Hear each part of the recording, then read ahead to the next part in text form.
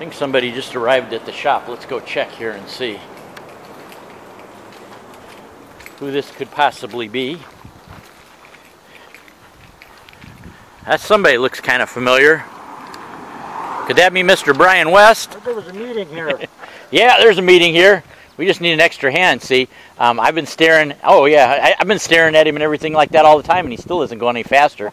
So I think if two of us stare at him, you know, he'll probably get to moving a little bit better. Yeah. How was your trip? Lots of construction. Yeah, My my luck. That's the way it works.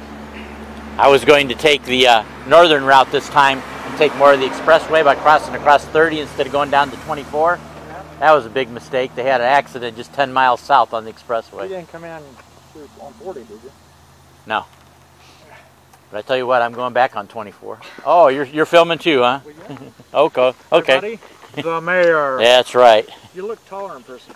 Yeah, I know. I'm I'm just a little uh, four foot midget, really. Is what I am. I just I wear elevator shoes all the time.